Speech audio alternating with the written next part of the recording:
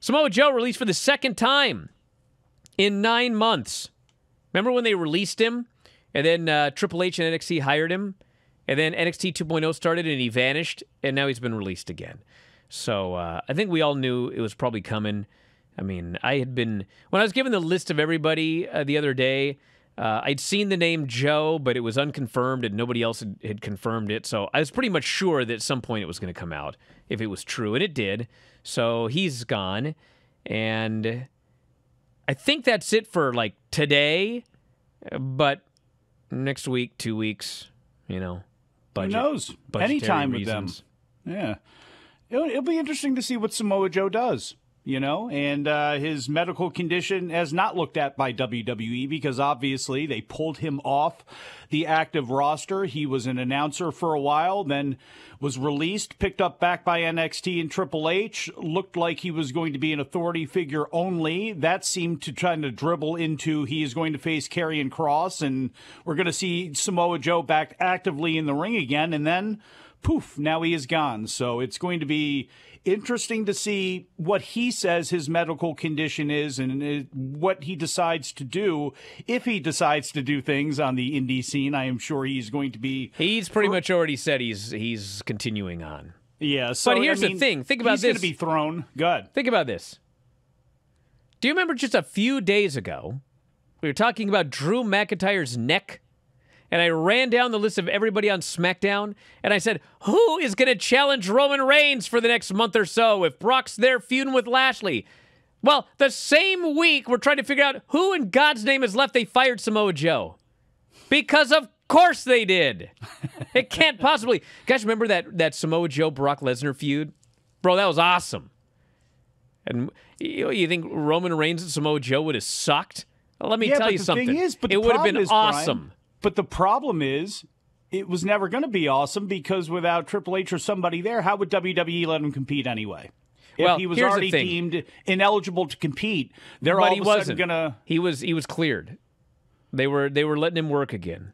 Like there's it's not it's not a deal where there's like a, a medical team for the main roster and a medical team for NXT. If he got cleared to work NXT, he was good to go. But Hmm. they just decided we don't want this guy in the main roster. What can we do with Samoa Joe? It's baffling. It really, really is. Well, do do what you're doing with everybody else, which is what they did, which is hand him right back over to people that could use him, whether it be AEW, whether it could be the New Japan Dojo, whether it's New Japan proper, whether it's Ring of Honor, which is still going to survive and move on come spring. I fully believe that they are going to be, you know, the kind of promotion that you had talked about and that we had talked about on this show where they may only have a couple of people, but they bring in a bunch of people.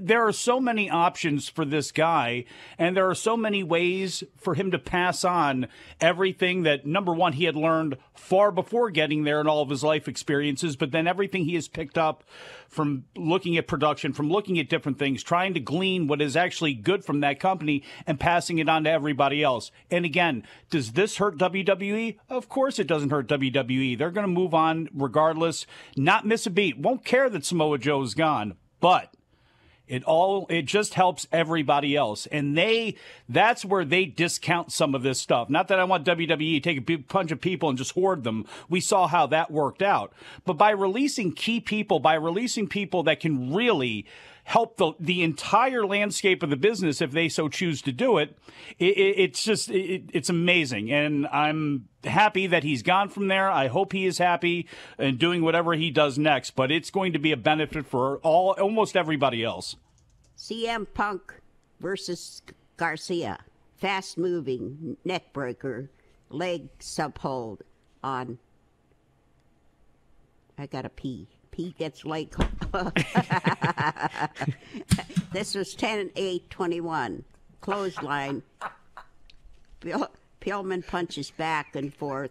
How'd Pillman get in this match? I don't know. How What's happening?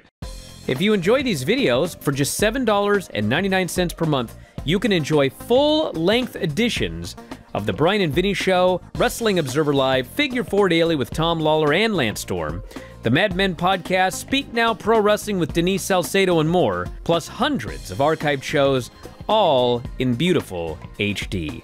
Don't miss out. Join us today.